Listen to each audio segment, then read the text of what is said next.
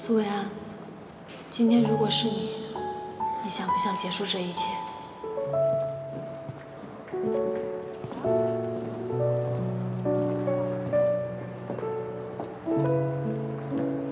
啊！众生皆苦，喝点甜的吧。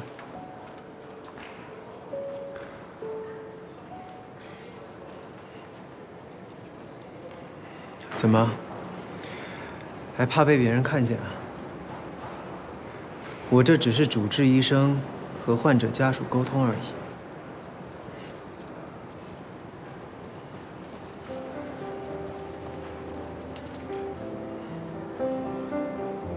谢谢啊。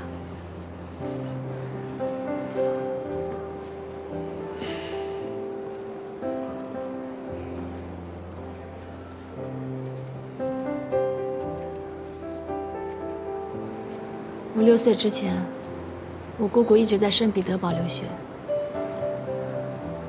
我爸说，他是唯一一个从他们县城里走出来的国家级别的小提琴家。很难想象吧？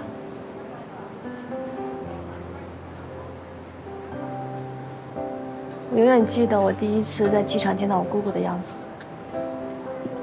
她拎着琴箱出来，是人群中最闪耀的那一个，身材纤长，坚挺的比翼，贴身的西装裙，脖子长长的像一只天鹅一样。他还走到我身边，给了我一块巧克力。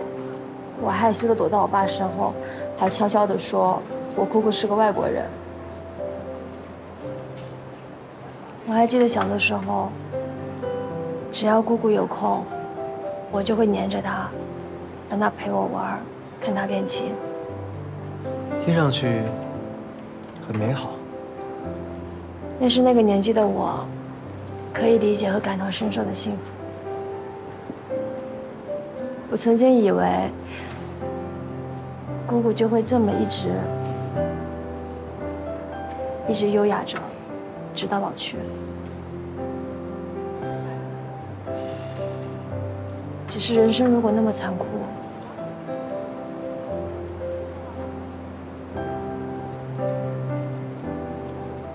是不是不如离去？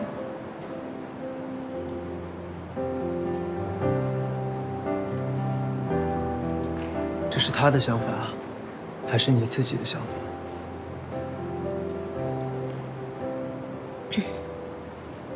对不起啊，我我心情很差，胡言乱语的。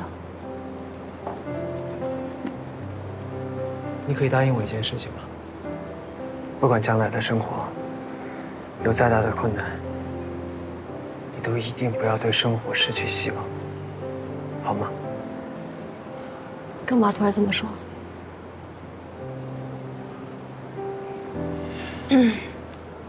出来有点久了，我回去陪姑姑了。苏维安，可你还说过不做逃兵。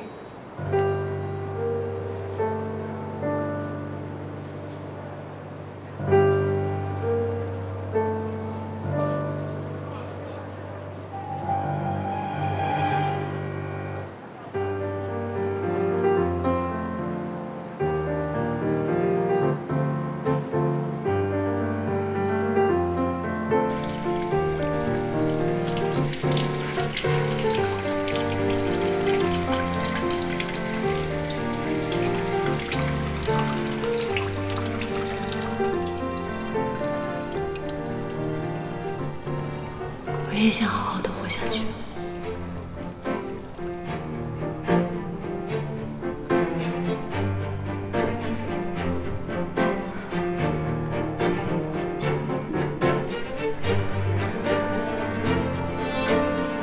你说的对，比起什么都做不出的绝望，我更害怕自己什么都没有做。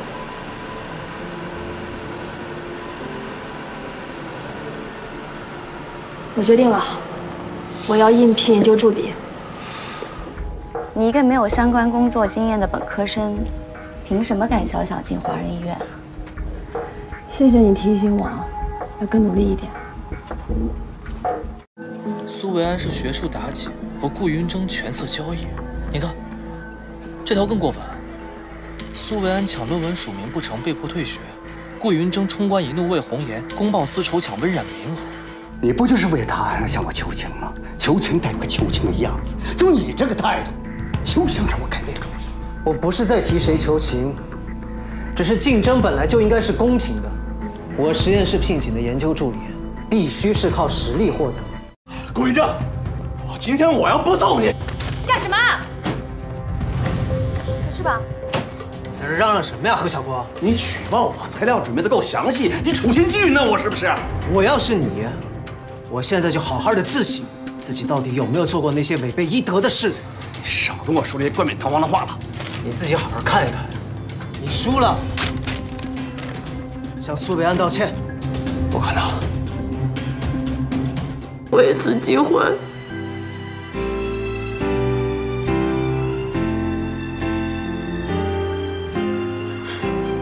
让我亲口告诉你，我喜欢你，只要你可以回来，我什么都答应你。说话算数。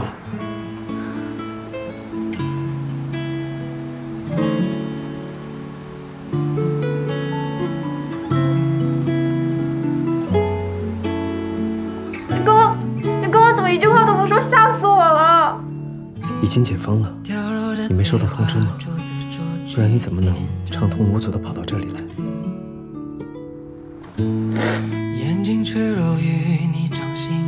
维安，刚刚你说的每一个字，我都记住了。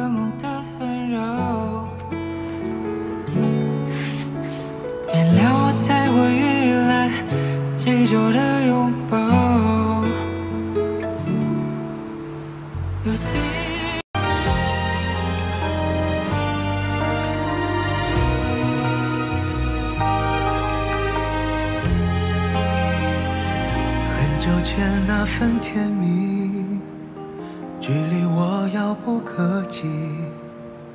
仿佛是命运刻意安排给我的谜语。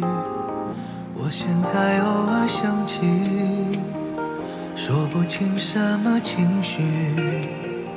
或许是我太过了解，被爱过就不想再被忘记忘了也没关系是你给我勇气永远等不到的那些风景我会祝福着你忘了也没关系是我拯救自己。